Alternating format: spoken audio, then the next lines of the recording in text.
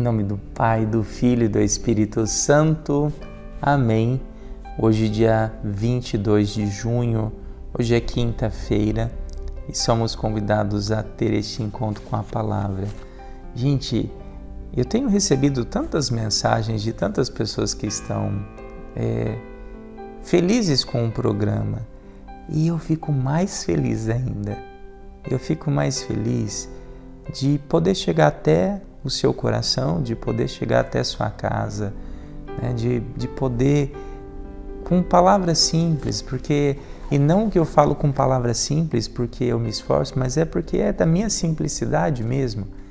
E eu sinto que da palavra de Deus não precisa né, de, de, de, de grandes coisas, mas é, me, me preenche o coração saber que esse projeto que começou tão pequenininho, né, tem crescido e tem chegado a tantos cantos, a tantas pessoas.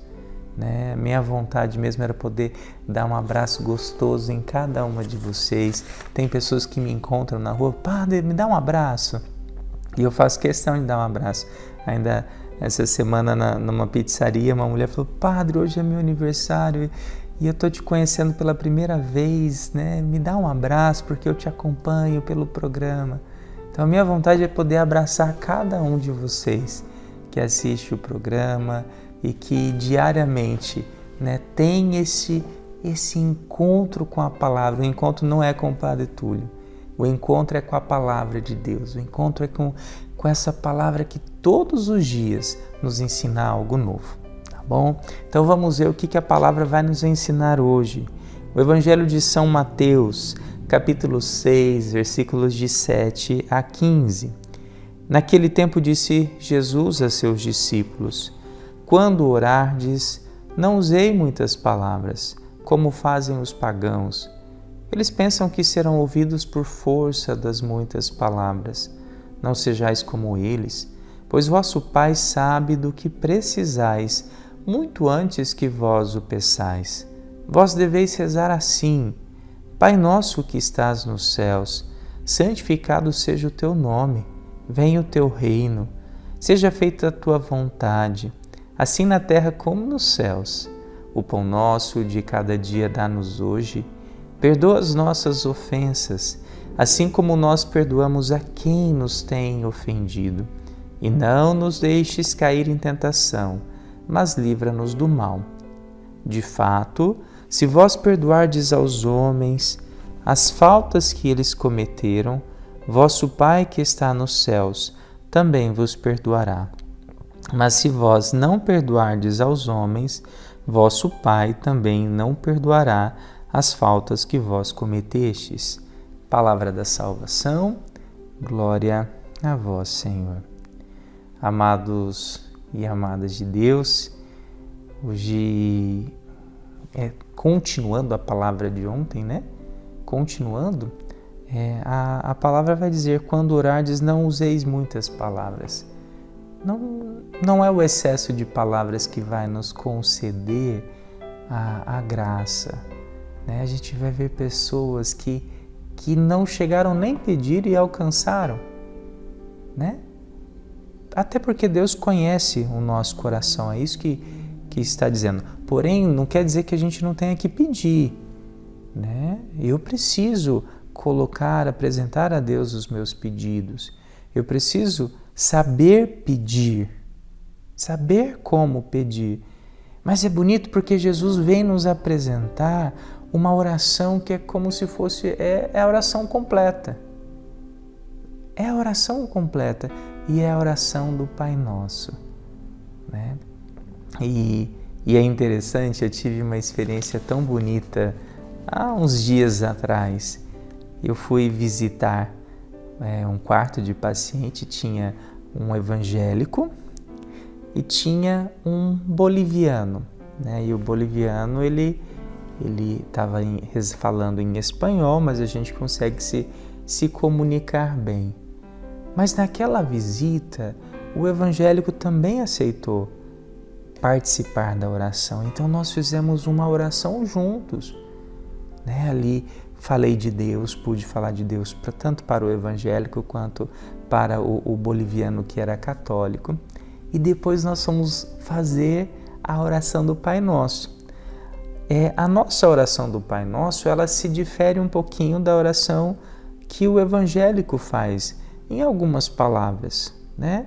Mas é o mesmo sentido, é a mesma oração, mas somente a palavra muda. Mas aí então ficou eu rezando o Pai Nosso, o, o, o, o evangélico rezando o Pai Nosso ali, né, de, de perdoar as dívidas, e aí o boliviano rezando em espanhol. E nós três rezamos em voz alta. Mas foi tão bonito porque nós três estávamos fazendo a mesma oração de formas diferentes, mostrando assim essa essa unidade. Né? E depois eu ainda falei para eles: vocês viram que, que acabou de acontecer aqui?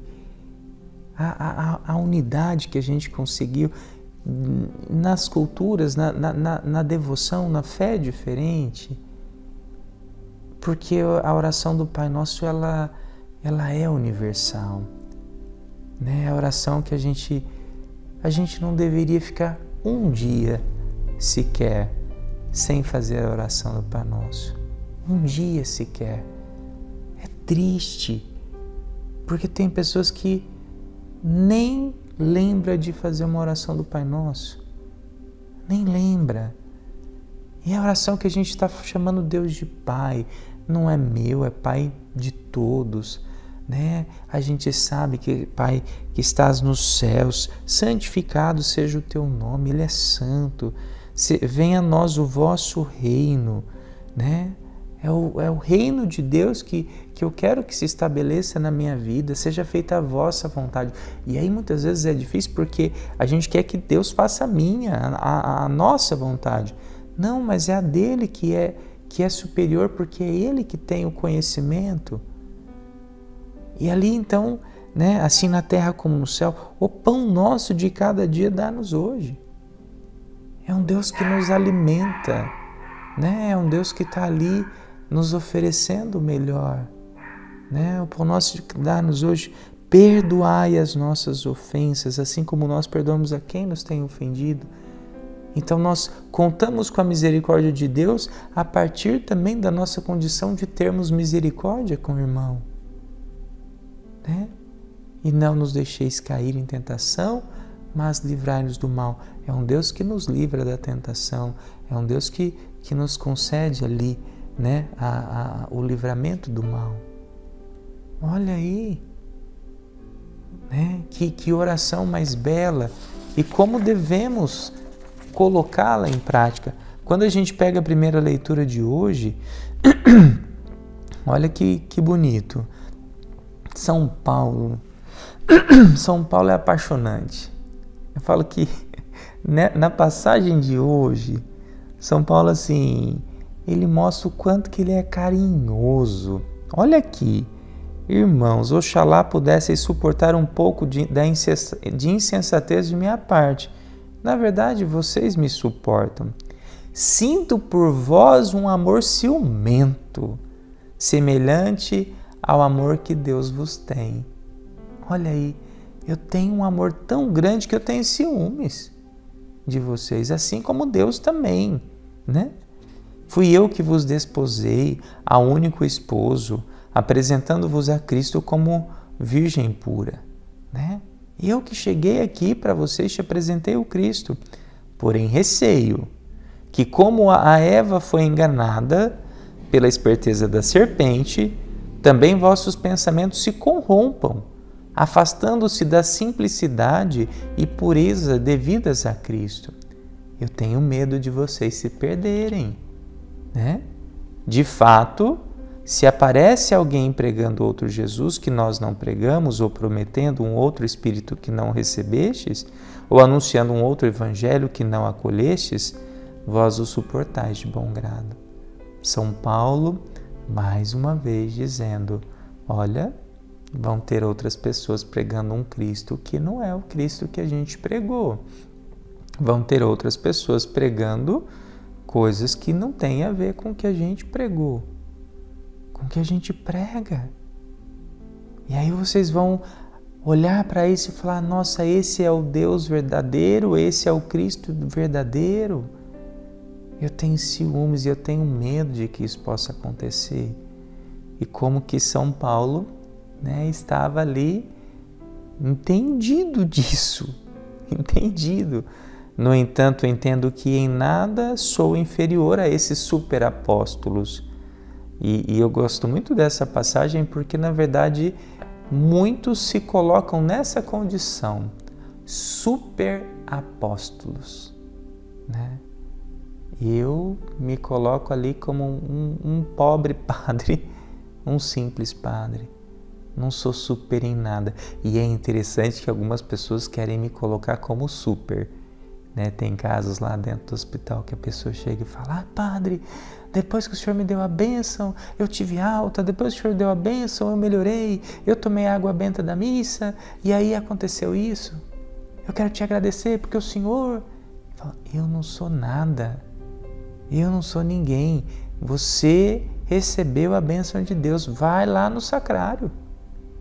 Vai lá no sacrário. Não existe super padre, super apóstolo, super pastor, não existe. O super mesmo é Jesus Cristo. E se alguém se apresentar como super, desconfie, né? Desconfie. Mesmo que eu seja inábil na arte de falar, não sou quanto à ciência. Eu vou-lo tenho demonstrado em tudo e todas as, man as maneiras. Acaso cometi algum pecado pelo fato de vos ter anunciado o Evangelho de, que, de Deus gratuitamente? Né? Gratuitamente. Não tem preço. Não tem preço. A graça de Deus não tem preço. Para você vir, despojei outras igrejas, né? E quando estando entre vós tive alguma necessidade, não fui pesado a ninguém. Em todas as circunstâncias cuidei e cuidarei ainda de não ser pesado a vós. Ou seja, São Paulo ele ele está dizendo, né, que ele se preocupa muito com essas pessoas que talvez vão crescer os olhos com aquilo que pode parecer super, mas não é aquilo que ele pregou, né?